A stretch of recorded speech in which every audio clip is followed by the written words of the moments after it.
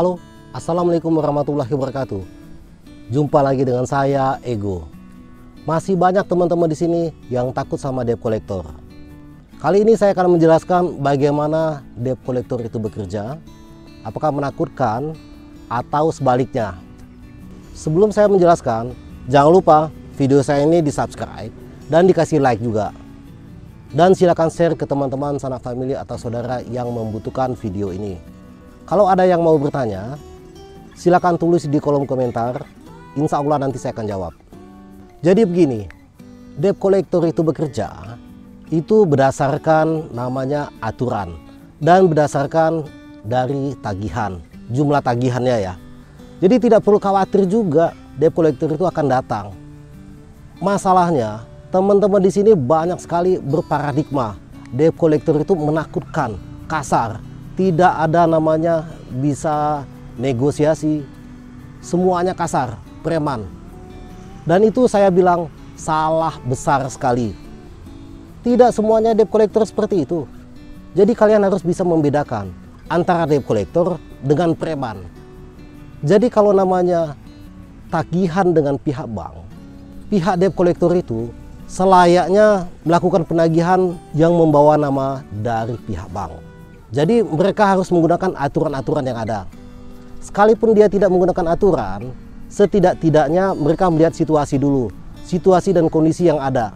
Apakah kalian itu tahu tentang hukum ataukah kalian itu tahu tentang prosedur hukum, prosedur bank ya, ataukah kalian juga bersikap pasrah? Kalau debt collector yang preman itu, yang kalian anggap preman, yang tidak ada babi bu lagi, dia langsung main sikat aja, main hajar, itu biasanya penagihan secara pribadi ataukah rentenir.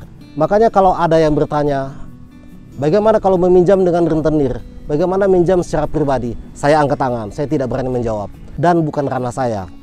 Saya tidak mau komentar masalah itu. Makanya saya tahu persis, mereka itu tidaklah segarang yang apa yang kalian pikirkan. Kalian anggap berteman aja.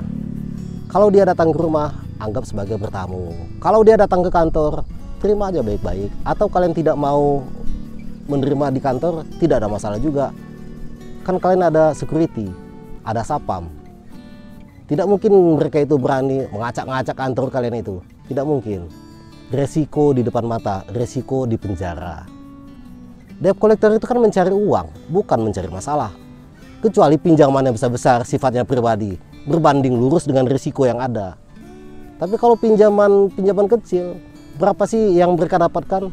Mereka kan cari uang, bukan cari masalah, bukan membuang uang. Banyak sekali informasi tentang debt collector ada yang ketangkap, ada yang digebukin. Saya rasa mereka itu belum tahu masalah aturan. Mereka hanya mengandalkan otot. Jadi siapa pun juga, preman apa pun juga, kalau kita bicara baik-baik, mereka pasti baik-baik.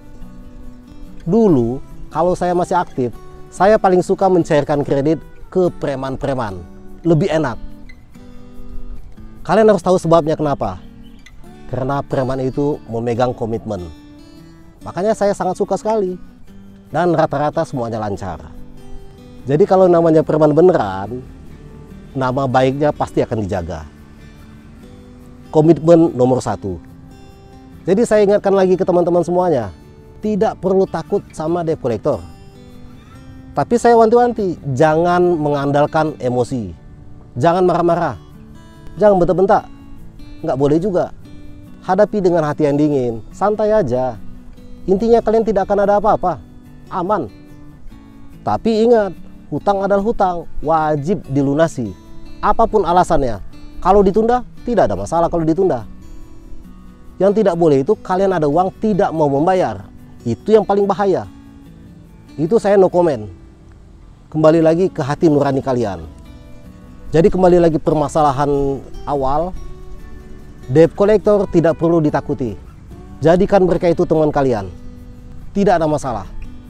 Yang membuat kalian takut itu ancaman-ancaman via telepon, melalui telepon. Kalian ditakut-takuti. Jadilah kalian takut-takut.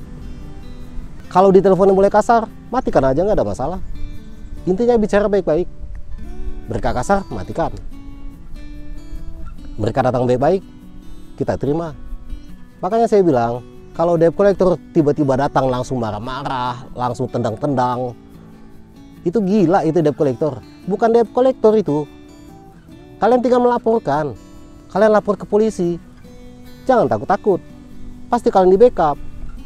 Jadi masalahnya di mana? Nah, ada juga komentar. Ini adalah teori. Saya pengen ketawa kalau baca komentar itu. Teori. Dia tidak tahu siapa saya kali. Jadi saya maklumin. Jadi tidak perlu takut lagi dengan debt collector. Mungkin ini saja yang bisa saya sampaikan kali ini. Sampai jumpa di video-video saya selanjutnya. Assalamualaikum warahmatullahi wabarakatuh.